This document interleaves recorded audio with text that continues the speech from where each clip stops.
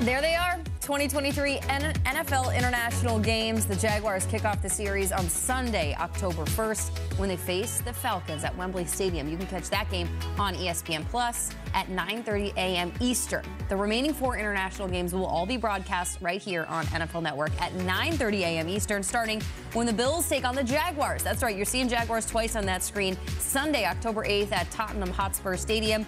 The Jags playing those two games outside the U.S. a first for the NFL. The following Sunday on the 15th in October, the Titans play the Ravens as they wrap up the 2023 games in London. From London, then the international series returns to Germany for the first ever NFL game in Frankfurt. The Dolphins battle the Super Bowl 57 champion Kansas City Chiefs on November 5th.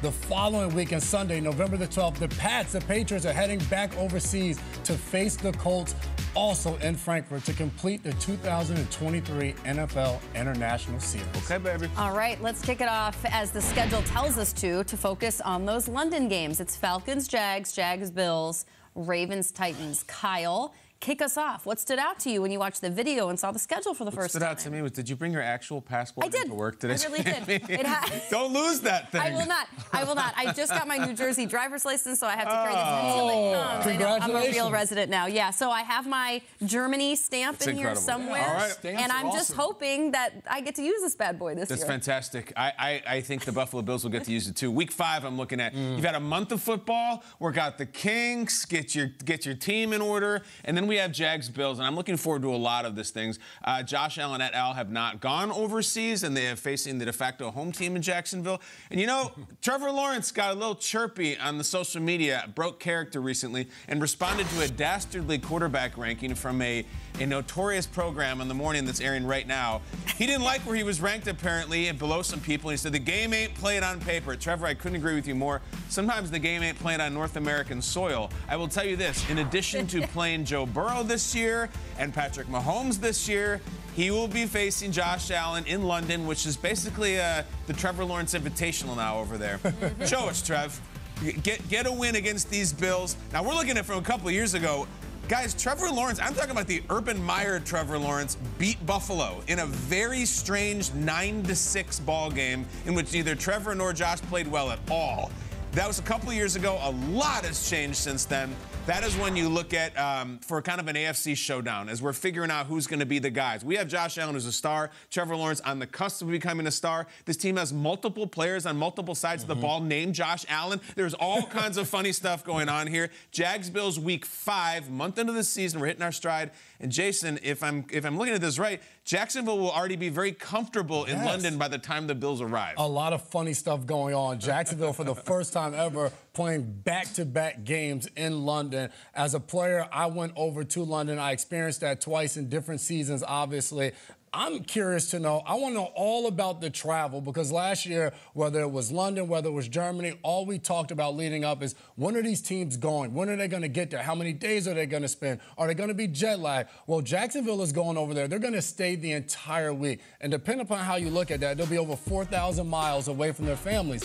Now, for a lot of players, that'll be away from the kids, away from the wife, and you can say, oh, I'm going to miss my family. Or you can say, wow, I get a week long vacation, all expenses paid, uh-huh. to enjoy a different country, hang out with some of my best friends, mm-hmm. and get a chance to play a game that I love. So for Jacksonville, this is a very unique opportunity. I think over the years, we floated the idea could an NFL team actually reside in London? Sure. Could they be there, travel over to the U.S., play their home games overseas?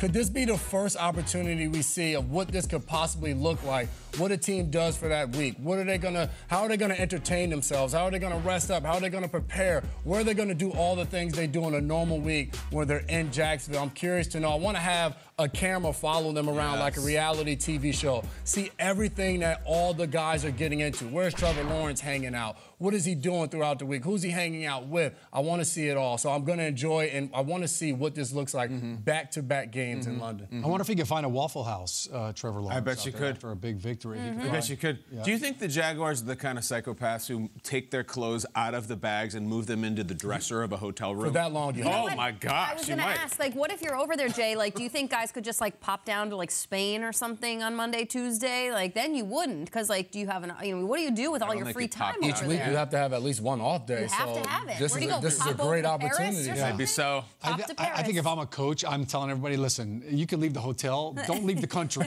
like whatever you do, do not leave the country. We don't need any any mm-hmm. international incidents. The one thing as a former player I want to know is where are we practicing at? Do we have a cold tub? Because that is a mandatory. as a That's- player. that's You've what gotta you're have a cold about? tub. Absolutely. How come? Recovery after that game, n- and then leading up to the next game. I mean, I would live in the cold tub Monday and Tuesday. If you're if you're years five or more in a league, the cold tub is your best friend. All right, just jump in the uh, the Thames River, right? Yeah, maybe. Yeah.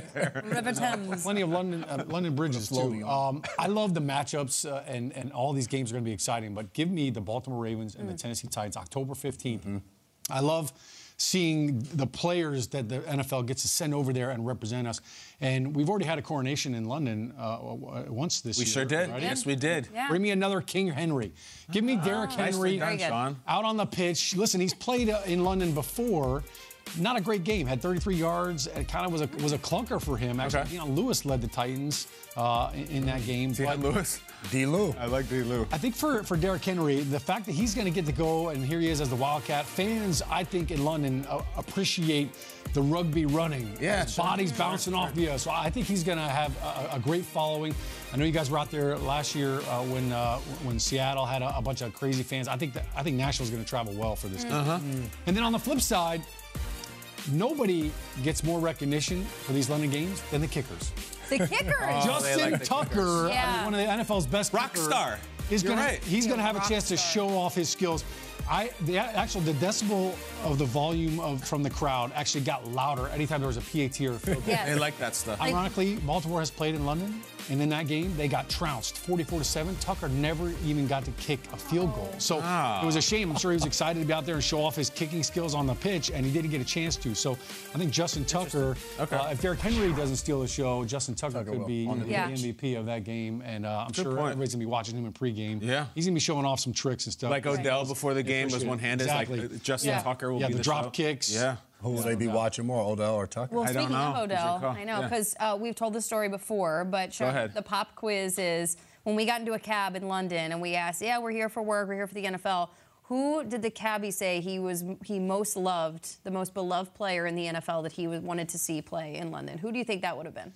Uh, was probably Tom Brady. It was not. It was Odell Beckham Jr. OBJ. Lo- They loved Wasn't him. They love him. Wasn't were even on the shook. team. We're like, hold on. Odell does not have a team at this point. Yes. Right, this you don't want to talk about fall. Mahomes or Burrow. No. Odell Beckham. We, love, Odell. Odell Beckham Jr. So, uh, giddy up, England, giddy up, UK. You have Odell Beckham Jr. coming. Uh, talk about royalty.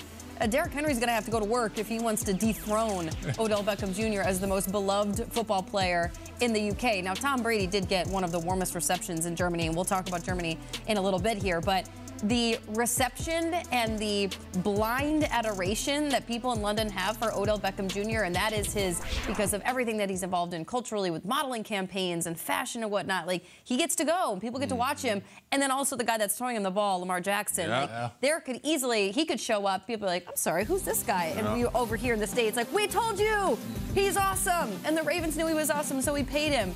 I think it's going to be an awesome game, but for those two figures to show up in London, and I think the flock will arrive as well. You think the Titans are going to travel well? I think the Ravens fans are happily heading to the website NFL.com/slash international games to get their tickets for this game. Now that's the third, that's the second of 3 The first being played at Wembley, the second two at Tottenham. Tottenham is a beautiful stadium. Wembley, obviously historic in London. So we are thrilled to have announced these games. Here's a look again. Uh, it's October. If you want to head over there, you get three NFL games in a row. You can tour London. Just get your passport stamped once. You got three games, two Jaguars games. That's the most important, one of the most important parts of this. First time ever, a team will play back to back two games in a season for the NFL.